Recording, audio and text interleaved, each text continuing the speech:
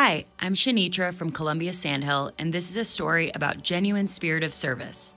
Today started as a normal lunch shift and would soon turn into a remarkable memory. I came around the corner to a gentleman seated alone at a table. As I arrived, I noticed a framed picture of a woman sitting next to him. When I asked about the framed photo, he very sweetly explained that it was his mother, who loved Red Robin, and that he had picked Red Robin to celebrate her birthday as she passed away one year prior.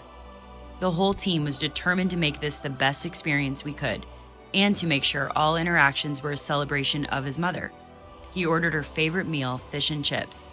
We even helped to pay for the meal so he could just focus on celebrating his mother. The whole team was in tears by the end of the visit, and even he got a little emotional. We're all better for being here because in times like this, we're able to take special care of the guests that choose to dine with us. And that's my burger story.